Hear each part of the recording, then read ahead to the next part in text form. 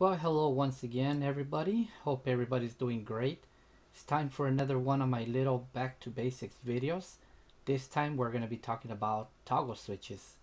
But before I get started, I would like to do my little disclaimer as you all well know by now. So the information that I'm going to be presenting to you here on this video, it's my personal understanding of the material is, you know, whatever knowledge I already have about the components that I'm talking about, what I've read on the HCSCI website you know so I always recommend that you guys visit the website for the latest and greatest information and to download the latest version of the plugin. Speaking of the plugin uh, as of the day of this recording I am using version 1.0.75 and the website whatever parts I do show of it is going to be the way they it looked on May 6 2021 so if you are looking at this video sometime way in the future maybe some things have already changed as you guys all know. Everything is subject to change. Alright so let's go ahead and get started with this little video about toggle switches. But before we go any further let me get myself out of the shot here so that we can have more room to do the explanation. Alright so toggle switches come in a great variety of different sizes uh, different configurations uh, you can see that we have some here that look like um, rocker switches. We have a push button latching switch, which is like I talked about in the previous video, to the configurator, to the plugin, it looks like a toggle switch. And then this is your basic um, uh, on and off switch, the, the very, very basic one. And so is this one, but this one has a longer uh, handle here, a lever Okay, as I mentioned, you can get these toggle switches in a wide variety of formats. And um, this one right here, I kind of like it because it has a pretty big um, handle lever on it. So you can actually attach things to it. Like a long time ago, uh, when I just started my cockpit, I actually put something, I made something like this so that I can put that there. And that used to be my autopilot uh, disengage little thing. So, you know, you can get creative and do whatever you want and then you got some here that have a integrated light built in but I believe these lights are for because these are originally for cars so they're 12 volt lights so they they don't really work for the simulator. Uh, same thing with this one here. It's a rocker switch that also has you know a light built in but when you try to hook up the light if you ever try to hook up the light like to work as an LED output it'll actually short um, the Arduino. So you can use the light built into these um, for the Arduino. All right, and then you got um, you got some pretty nice little tiny ones here. So you can use these for the ones that are on the EFIS panel so that you can switch between VOR and ADF. Um, so as you might notice, um, you got three different types right here. So this one right here is your basic on and off switch. And actually might be able to see it I'm not sure if it'll show or not but you might be able to see right there that it says on off. And then these two right here this is a little bit different right here because this one right here you know it has three legs. And like I mentioned I think before usually the negative is the center. And then the two on the outside are the contacts for the two different poles. So this one is actually just on on it doesn't have a center position even though it has two different poles or throws. Actually one throw and two poles. Um, I don't know if you can see that right there. I'm trying to make it come up. But trust me it says on on. But this one right here even though it's the same it has uh, you know two two poles and then the, the negative and the center. This one actually has a center. So you can actually go on off on. And uh, yeah you might be able to, to read it right there as well. Alright so when you're looking for switches you kind of have to be careful. You have to kind of want to know what you are looking for. So like if you're using for your everyday things you know where just have an on and off you're gonna get one of these which is a basic you know on off. And all of these have you know one for the ground or the common and then one for the contact. Um, so the way that you can tell where it's going to be on is if you imagine there's a straight line right here between the lever and right here you see there's no contact there. So that would be in the off position.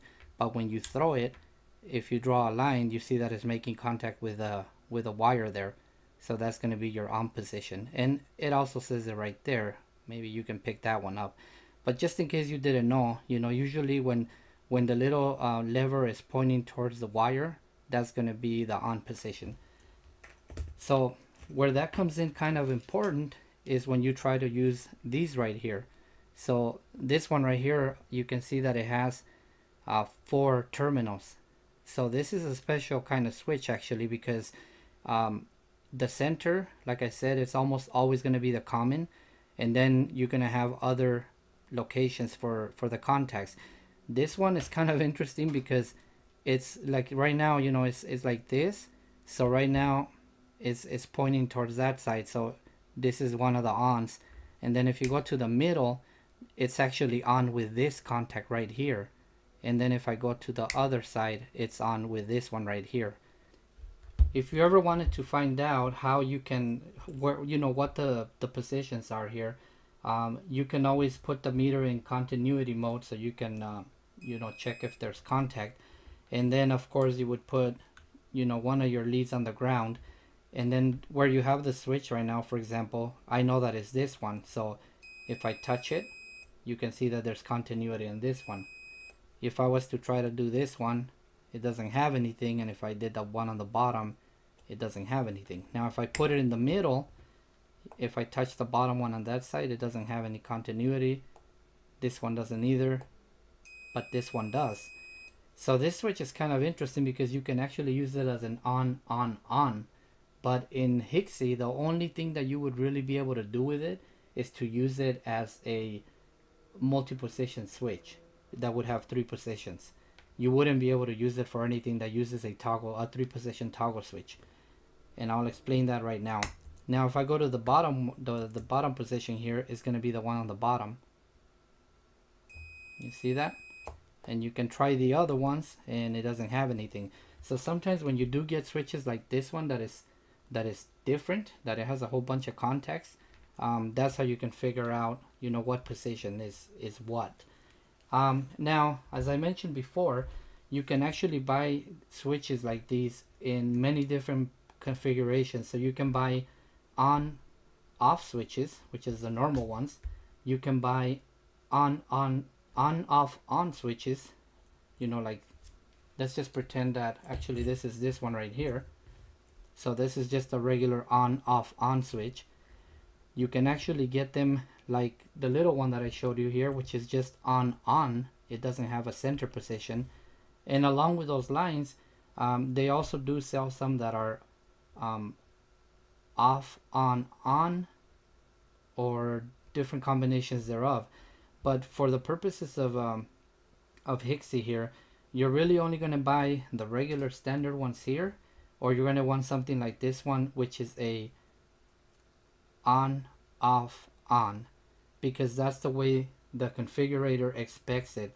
So I'm going to show you a little bit later that even for things like the APU, which um, I am using this switch right here when we when we do some programming a little bit later, um, even though you would expect, okay, when, when it's like this, the APU is off when it's on the top and it's in the on position when it's in the middle and then you push down to start it and then you know I, I have one in my setup where, where it bounces back. So I just basically have to momentarily hold it and when I let it go it bounces back to the on position. And then when I want to turn off the APU uh, I turn it up. But the, the configurator and the software it it doesn't care that the switch is off in the middle. Because of the logic that they put into it it expects um, the on position up here to be APU off. And then the off position here the APU turns on and then the on position on the bottom is the start. So if it wasn't because of the logic that they put into it then you know if there was some other way of doing it I guess then you would need a off on on switch. But that's not the case.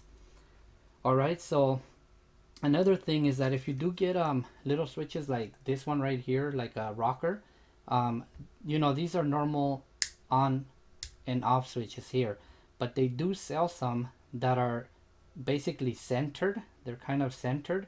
And then you can momentarily push it to one way or the other and so that's kind of cool like for the the trim buttons you know on, on airliners or, or business jets or any other airplane that has something like that where you can trim left or trim right or trim up or trim down with the buttons on the yoke. That's kind of cool for that. I don't have any of those so i'm not able to show you but they exist.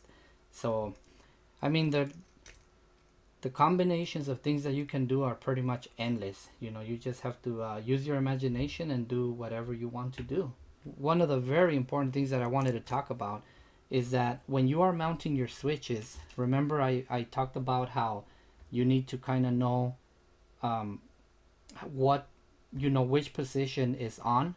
So like for example if you wanted to mount you know this switch this is going to be the on position if you mount it like this. So so when you have it mounted you know it's going to be off when it's up and then it's going to be on when it's down but let's say you wanted to do it in, in a way that you know that it's on when the switch is actually facing up like that then you need to make sure when you mount them that you put them in the right orientation on your panels. Um, it also becomes important with with these kind of switches that have you know the two positions. Because let's say if you put it like this and now you know you have it backwards where with the way you connected the wires you're gonna basically have like this is gonna be the APU start when the switch is up and then when you're in the middle it's still gonna be on but then when you go down that's gonna be off which is totally the opposite of the way it is in the 737 so you need to make sure that you that you mount in the right way. Now there's a good thing about it that with this type of switch you can just reverse the leads. So like if you connected let's say this one to A8 and this one to A9 you can just swap them and it would be the same thing as if you rotated the switch. Um, but let's say you soldered everything in place there is a cool thing in the configurator where it allows you to do an inversion. So even if you did already wire them and solder them and even if you already mounted your switch and and it would be very difficult for you to you know reorient it you can just do it in the software you know. So that's a very good thing that they just added recently so let's go ahead and connect a couple of these and then we're gonna go to the to the configurator. All right so I'm just gonna do three of them for this and I'm gonna use the latching push button one like I did last time just so you can see that in this episode that it's, it's talking about switch toggle switches. So I'm gonna go ahead and put my grounds right here and just to make it easy I'm gonna put this one here. I'm gonna put it on since I already kind of mentioned it I'm gonna put this on A8 and A9 directly on the Arduino. Alright and then I'm gonna go ahead and put this one since it has a a male on the end over here. I'll just go ahead and put my common to ground it's the same way I do all the time. And then I'm gonna go ahead and put this one I'll put it on number 50 okay oh well. All right and then this one here uh, it has a female here so I'm just gonna go ahead and put my common to ground. And then put this one on the multiplexer number 15 that should be good enough. Um, you know there's something I haven't mentioned before and I'm pretty sure it's pretty obvious to almost everybody especially if you've already done a little bit of this. But you know right here I have obviously different uh, commons you know for each switch. But when you're building something you know like for example when I built this little thing here that I was talking about last time, um, you can see that all the grounds are together. All the grounds come, you know, you basically link them with a black wire. They're linked between the, even between the displays, between the encoder and everything. Every, all the grounds are linked together. And then they just go, you know, to, to the whole, the same ground um, which comes over here to the multiplexer that I have right here and then I just take this ground wire here that's gonna go to my Arduino. And then the same thing for the power you know anything that uses power or the 5 volts like the displays it's they're all linked together and then I just take one power to the displays I'm sorry to the Arduino. Okay so you don't need to do you know one ground for every single button. You just daisy chain all of them together to make the wiring a little bit neater. I think I had never mentioned that before so I figured it was a good thing to do that we're gonna go to the configurator here. Okay so I'm gonna go ahead and do the APU for the three position toggle switch. So I would go I, they're kind of uh, populating these things already. Uh, last time when I clicked on it here well never mind. I guess I shouldn't have said it. Oh yeah there it is. I thought it was gone. Alright so I'm gonna go ahead and click on this one here for the APU and you can see that it's expecting a three position switch and I put them right here on A8 and A9 so I'm gonna click the first of two inputs. So that's already assigned. And then the other one the the single toggle switch that I was gonna do for the I believe I was gonna do that for the auto throttle. So we'll go to the autopilot types.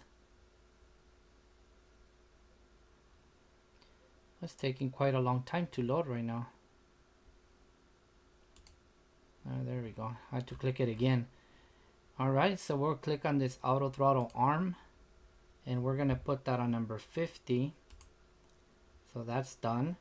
And then the push button that I put I think I put on multiplexer 8 on pin number 15 so first I have to tell this thing that I want a multiplexer here on number 8 and then um, for that one we'll go back to the 737 I'm just gonna do uh, the pitot heat switch right here and I'll put that on number 15 and the reason I'm doing that like I said last time is to show you that a latching push button switch acts the same as a toggle switch to the configurator and to the plugin. Alright so that's it. So I'm gonna go ahead and save this file. I'm gonna overwrite the one I had in there and then let's go to the to X-Plane we're here in X-Plane now and as you can see we have uh, version 1.0.75 I'm gonna go ahead and unpause it and reload the configuration so that it can do the one that I just put in there. Alright so it's detecting that we have three inputs and zero outputs which is correct alright so now that I got the camera here let's go ahead and try well let's go ahead and do the APU first. So let me come this way a little bit. Alright so I'm gonna pretend that this is the way I, I have it right now. So the APU is off right there. And then if I bring it to the middle the APU went to the middle position. And then if I go down it goes to the start position and then I can bring it back to the on position after a couple of seconds. So that is um, that is correct. Okay the next one we're gonna try out here is gonna be the auto throttle here. So let me move that here. So right now the auto throttle is on. So I'm gonna just pretend that this is gonna be in the up position and then I turn it off. Turn it on. Turn it off okay so now I'm gonna show you what I was talking about the inversion options.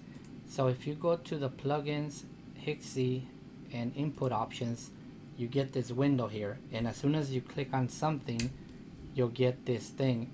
So you see how you have a inversion checkbox right here? So I had it on already but so you would imagine right now you see this is off and this is on. So I'm going that way to go on and then this way to go off.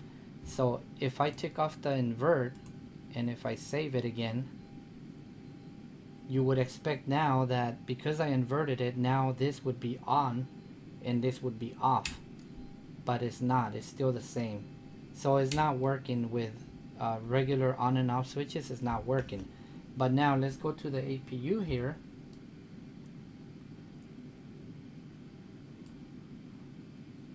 okay so if we go to the APU switch here um, okay right now we're gonna go like this.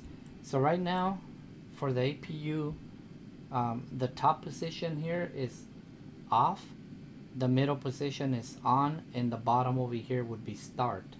So if I was to go there you see it goes to on and then if I go down it goes to the start. So remember right now this is off now if I click the inversion away alright now you see it went to the on position even though I have it in the in the other one so it's gonna stay the same. But now if I go down now you see how it goes off? So you can see that if it's actually the opposite now of what I'm doing with the switch. So if I go up one it goes down one on the simulator and then if I go all the way to the top it goes down to start. So that is what this inversion thing is useful for. If you wire your wires backwards or if you mount it um, upside down in your panel. So that is very good to have.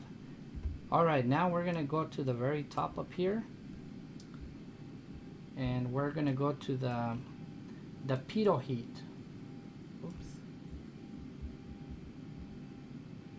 alright so we're gonna go to the pitot heat with this push button so right now you can see that the pitot heat is off because my little switch is um, out but if I push it in my pitot heat is on so once again, like I said before, even though this is a push button, it is a latching push button.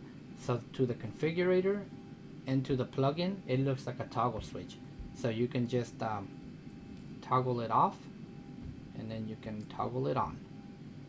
Okay, so I guess this is going to be it for this video. Hopefully it cleared up any doubts or confusions or questions that you may have had about using toggle switches. And um, I don't know, I'm pretty pretty sure I missed something, but I took notes and I tried to cover everything that I could think of. So hopefully I did a good job, or good enough at least. Uh, and if you guys have any questions or anything that I missed or you still have uh, doubts about, let me know in the comments down below. So yeah, that's going to be it for this one. And I will see you on the next one. Thanks for watching.